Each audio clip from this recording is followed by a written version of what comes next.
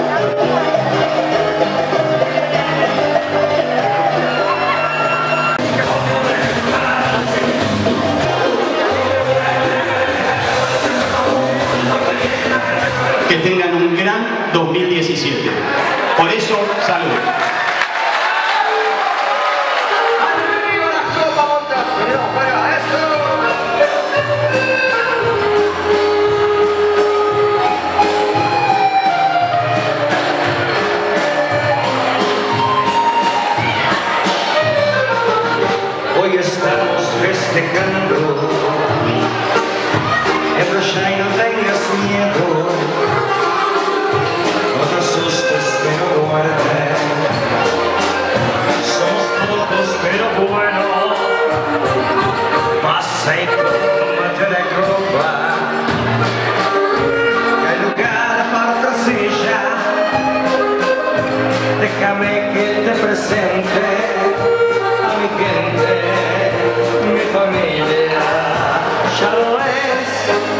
todos a la vez y después se pelean por un mes pero cuando las cosas van mal